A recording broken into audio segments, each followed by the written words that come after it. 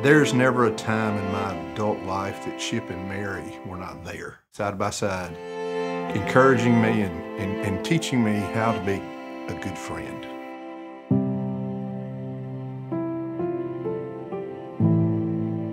Well, when Chip started his career, he actually left Macon and started driving, and he ran across Moultrie.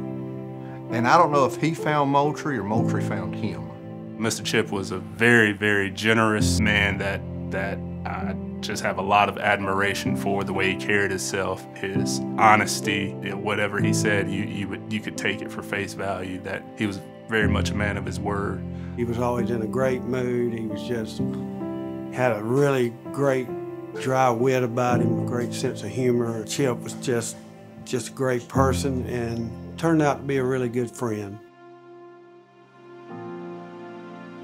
Chip and Moultrie are a match made in heaven, in my opinion. Again, I'm surprised we didn't build a statue. Might just give him a court too, but he is someone that knew the importance of Moultrie and how to make Moultrie grow. Chip loved this Y. Uh, you know, he served on all kind of different boards.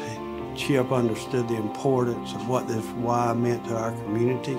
He put his heart and soul into this Y through his time, his efforts, fundraising. But really jogged my memory um, is about uh, being a scholarship recipient of here at the Y. And it wasn't until later my mom was telling me if it wasn't for the you know, the generosity of the people in this community and the people at the Y that let her know about the scholarships, I'm sure, when she was struggling being a single parent, uh, working a couple of jobs. You know, I can't help but think that that definitely uh, had a had a very large impact on on my life for sure. And, and of course, Mr. Chip serving so much as he did here in the Y and giving as much as he did in the Y. Can't help to think of how much of an impact that had on my life as well. When Chip passed, um, we were all shook uh, by that. And, and Chip absolutely uh, loved teenagers, he loved people.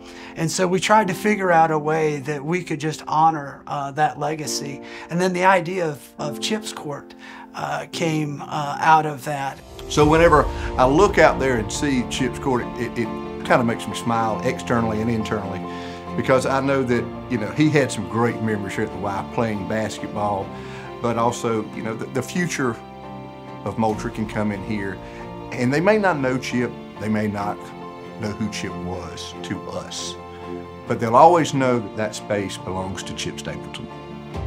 Moultrie, Georgia's better for having a Chip Stapleton because he knew the importance of caring. By giving to Chip's Court and to Chip's Fund, uh, you are supporting not only our teenagers, but our community. And I just want to say thank you.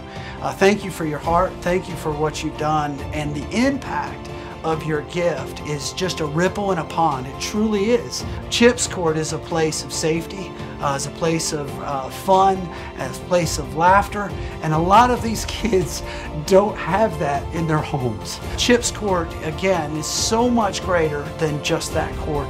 So I want to say thank you uh, for your investment and for your kindness.